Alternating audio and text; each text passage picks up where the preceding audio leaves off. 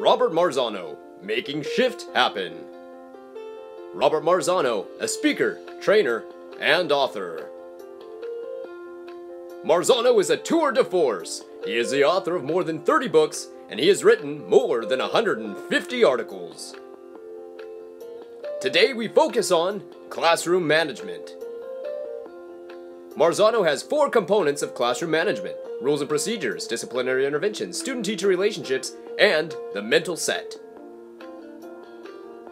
Let's focus on rules and procedures. You need to describe a specific behavior to the students. Areas addressed bring materials to class, being in the assigned seat or the room at the beginning of class, respecting and being polite to others, talking or not talking at specific times, leaving the assigned seat, and respect property. For procedures, you need to tell students what to do when. A given procedure is written in steps.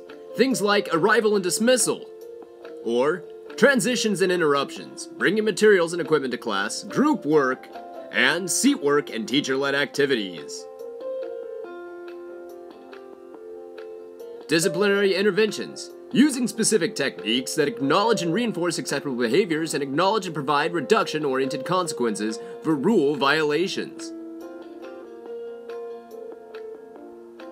Student teacher relationships. You need to establish a strong level of purpose and guidance, establish rules and procedures, exhibit assertive behavior, model that behavior you expect at all times, and establish clear learning goals. Bob Marzano, altruist educator or corporate sellout? With all of his publications, you have to wonder who's really funding his studies. Some have said there are design flaws implicit in Marzano's studies, and others have found that the corporations have sponsored the results of Marzano's tests. Is he making the profit, or are the students?